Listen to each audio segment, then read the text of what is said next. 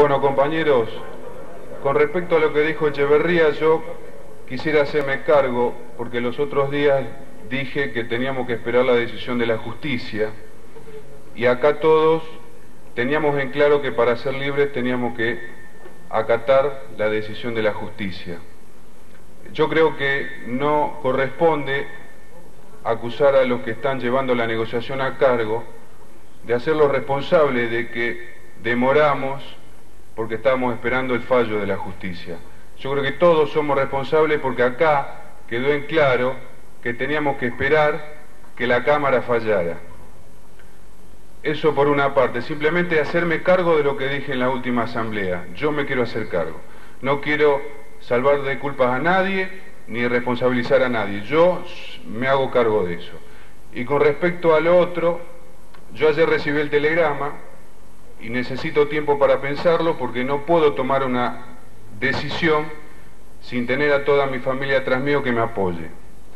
Así que realmente hoy, como hizo Echeverría, que ya tiene una noción clara de lo que va a votar, yo en este momento lamentablemente no la tengo y necesito ese tiempo para charlarlo con mi familia, nada más.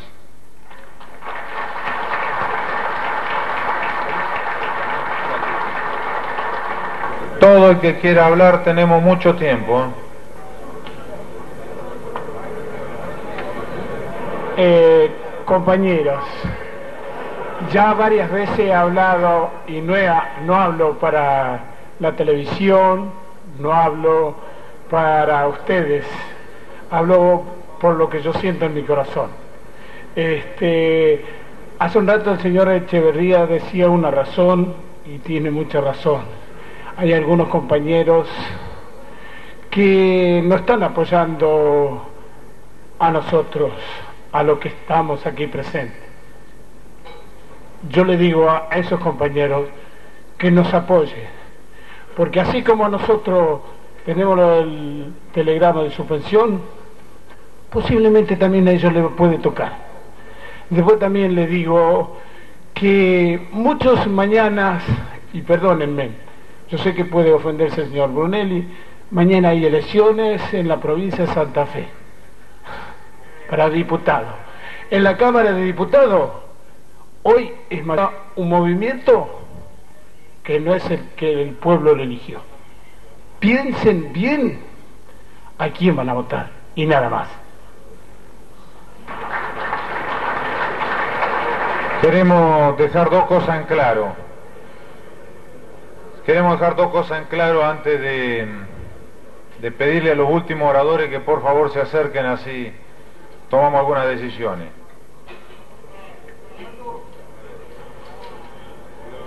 Si acá decidimos esperar la justicia, todas las decisiones las tomamos en común. Sí, Jiguero, ya le doy la palabra. Si acá tomamos las decisiones de seguir a la justicia, las tomamos entre todos. Pero si alguno ahora quiere tener amnesia, la tomé yo solo y todos quedamos contentos, Echevarría. ¿eh? Yo me hago responsable. ¿Estás contento? Muy bien. Este, difícil que esté contento, usted amargado. Con respecto, con respecto a las marchas y movilizaciones, tenemos unas cuantas en nuestros antecedentes, aunque el otro día un compañero tuyo le agarró amnesia respecto. Acá nunca se hizo una marcha, por lo visto. Y dijimos también en todas las alocuciones, cuando tengamos resultado de justicia, si tenemos que entrar en el campo gremial, vamos a entrar a hacer la pelea en el campo gremial. Ahora yo te quiero preguntar una cosa, la pelea en el campo gremial, ¿Se hace adentro o afuera? Movilizar puede movilizar todo lo que quiera, pero también la pelea en el campo gremial se hace con la gente adentro, no haciendo paro adentro, fortaleciéndonos. A mí es mucho más cómodo, se los digo del vamos, ¿eh? es mucho más cómodo compartir tu voto, los 8.000 afuera y a ver cuánto aguantamos. Y ponerse firme y apretar a que quiera carnerear. Pero como dijo un compañero recién, él lo quiere consultar con su familia. Cada uno es una individualidad. Entonces acá no podemos venir con nuestra carga ideológica a tratar de volcar el fiel de la balanza. Ninguno de nosotros desde acá arriba ideologiza la cuestión. Tampoco venimos acá a ver si salvamos lo posible. No, Porque mientras ustedes se opusieron consecutivamente a la rotación, a cualquier arreglo, porque no les interesa el arreglo, y no el arreglo entre comillas, sino la solución del problema, nosotros dijimos que hasta la rotación iba a ser una solución. Porque eso resuelve el problema de los 8.000. Seguimos teniendo estabilidad todo. Porque así lo resolvieron finalmente los compañeros de Villa. Así lo resolvieron. Después se fue decantando. ¿Quedaron menos? Sí, es cierto. Pero no salieron derrotados del conflicto. Y si alguno cree que con los 3.000 puestos menos de trabajo nosotros no nos vamos a sentir derrotados, está equivocado. Por eso planteamos la rotación, porque tenemos la estabilidad por la justicia, pero no tenemos la garantía del trabajo para todo, porque es fácil para ellos plantear los 8.000 a 100 adentro. Pero significa poner en marcha el otro al torno, todas las máquinas y todas las líneas y no tienen los insumos para eso, no tienen la caja para eso, y evidentemente entonces estamos vendiendo un tranvía, ni la decisión política. Entonces alguien dirá, ¿por qué se permitió entonces el apagado del horno? Hubiéramos entrado esa noche y hubiéramos impedido el apagado del horno. Los dos hornos funcionando, aunque lo hubiéramos impedido esa noche, pagando cualquier costo, a los cuatro o cinco días se apagaban igual porque los dos consumiendo al mismo tiempo se comían todo el stock que había.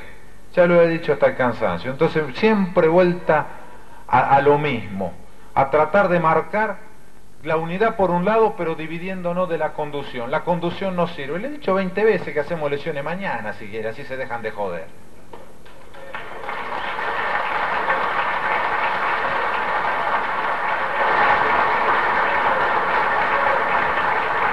Figuero. Sí, Carabajal.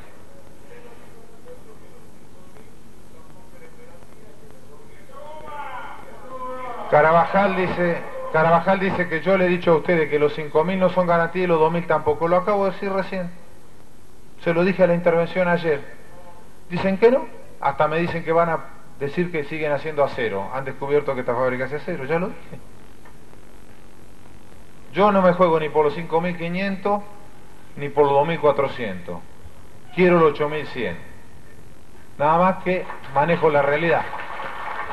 Para pelear para pelear por los 8100 y que después no empecemos a buscar chivo expiatorio, hagamos lo que se hizo siempre en esta sesión. Acá elegimos en secreto los dirigentes, acá plebiscitamos en secreto si queremos negociar una privatización o si queremos ponernos con movilización. Bueno, hagamos en secreto una votación, ¿cuál es el problema? Y si no, votemos acá, hagan una moción concreta, si gana por mayoría votar acá, nos evitamos todo este trabajo.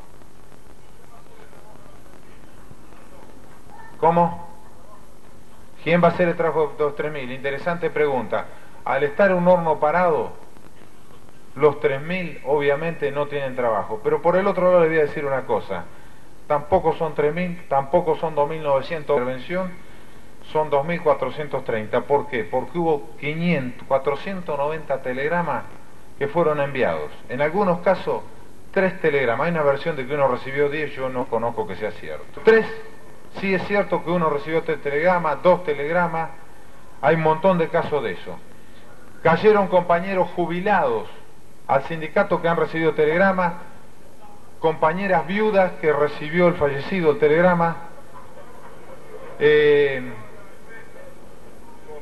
o sea, que de, no, no, escúcheme, en los telegramas cayeron hasta el gerente principal, todo, porque se hizo en parte por antigüedad y en parte porque fueron sectores completos, caso fundición. Depurado, depurada la lista, da 2.430. De los 2.430, 380 han estado reclamando en estos días que el telegrama los perjudica porque ellos tenían el retiro firmado. Quiere decir que la cuenta final de las suspensiones, por eso yo peleo la rotación, pues son 2050. Son 2050 lo que quiero rotar.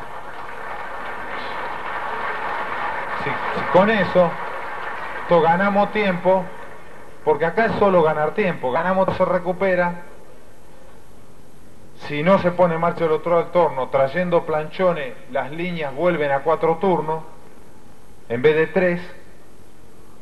De todas maneras, las líneas hay que estudiar cada sector por sector. El altorno tiene 11 hombres por turno, pero no tiene completo. Cuatro quedan en el parado. Los siete restantes no están completos. Y en el 2 falta gente. Entonces hay lugares donde más o menos se puede acomodar la cosa.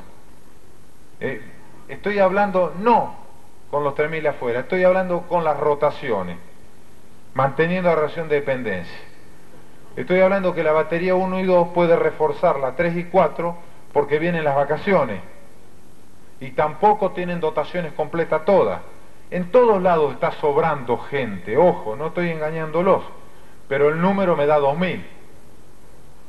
Y ese número 2.000 sobre 5.500, donde más se nos complica, porque lo he estado estudiando las últimas 36 horas, mucho el tema, es a lo mejor en algunas áreas los 70 compañeros fundición, que son lo que más me machaca, que tienen un tipo de actividad específica y al no producir tochos, evidentemente no necesitamos lingotera, pero también esa cuestión se puede de alguna manera reasimilar.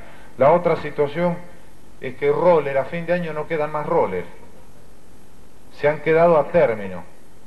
Entonces, es fácil, bueno, si se baja tres turnos el problema es menor, pero si el mercado tira un poco y se consigue alguna ley antidumping o algunos precios referenciales, la línea puede trabajar con planchones externos, que era la idea final de la Braston, trabajar con planchones a partir de 2400. Nosotros tenemos que tratar de que el horno siga, y como el otro horno está stand-by, puede entrar con 21 días de anticipación que se entre a meterle por la tobera, insuflarle aire caliente, se reaviva la llama y el horno arranca. Esto es una planificación de retirada, le llamo yo. Pero no me accede a, rotar los 2000. Claro, alguien me dirá, voy a rotar un plomero con un este, soldador argonista. No es fácil, yo sé que no es fácil. Pero ahí es donde entra a jugar la solidaridad.